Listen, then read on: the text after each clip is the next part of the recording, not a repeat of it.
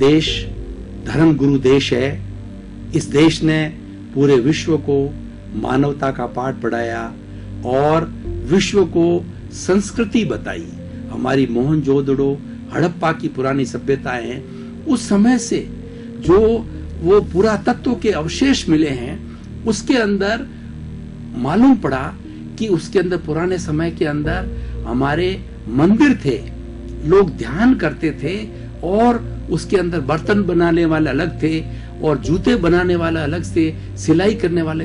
ऐसे अवशेष मिले थे कि हमारी मोहन जोदड़ो हड़प्पा तो हमारे वेदों से पूर्व की जो है सभ्यता है, उसके अंदर भी हमारी जीवन प्रणाली बहुत व्यवस्थित रूप से थी।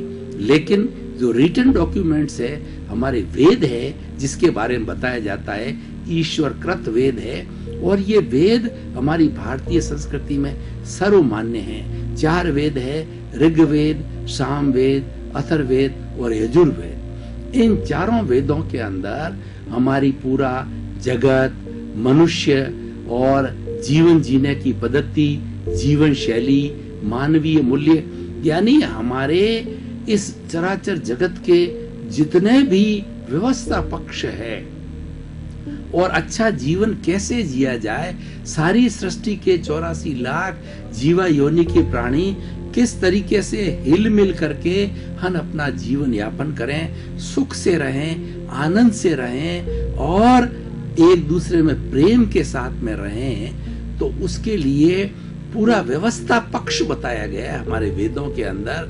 उसमें से एक पक्ष को आज मैं ले रहा हूँ, वो पक्ष है भारतीय वर्ण व्यवस्था। वर्ण का अर्थ वैसे तो रंग होता है, लेकिन यहाँ पर वर्ण का अर्थ होता है, हमारी जीवन जीने की पद्धति की क्या व्यवस्था है? हमारा जीवन किस तरीके से हम जिए, उसके लिए एक सिस्टम बनाया गया है। ये सिस्टम से जुड़ा हुआ है, और जब तक भाई और बहनों दर्शक श्रोतागण व्यवस्था नहीं की जाती है, तब तक कोई भी आयोजन, कोई भी जीवन, कोई भी परिवार, कोई भी राज्य, कोई भी देश, पूरा विश्व जो है, वो आराम से व्यवस्थित रूप से नहीं जी सकता। आपाधापी होंगे लड़ाई झगड़े होंगे, हिंसा होगी।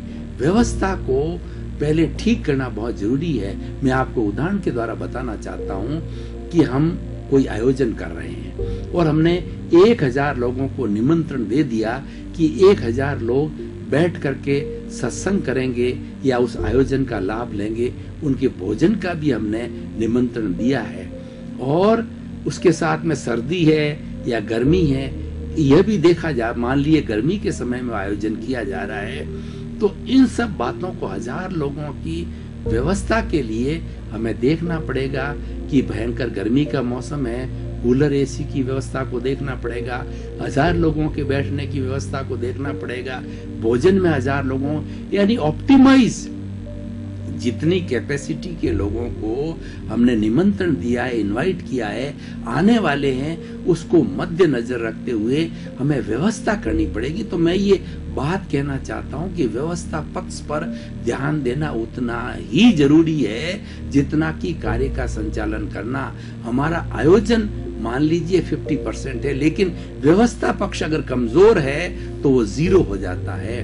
तो इसीलिए हमारी शुरू से ही जो है, हमारी संस्कृति कैसे अच्छी चले, उसके लिए वर्ण व्यवस्था लागू की गई है।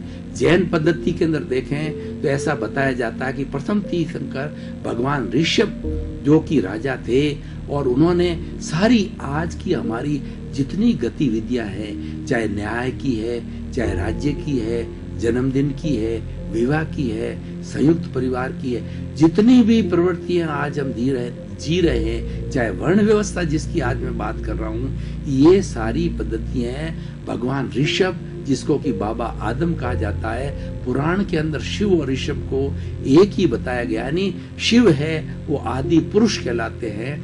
तो उन्होंने वर्ण व्यवस्था की स्थापना दी पुराणों के अंदर भी इसका लेख आता है, स्मृतियों में आता है, उपनिषदों में आता है। वर्ण व्यवस्था का ज़िक्र जो है, हर धार्मिक ग्रंथ के अंदर किया गया है।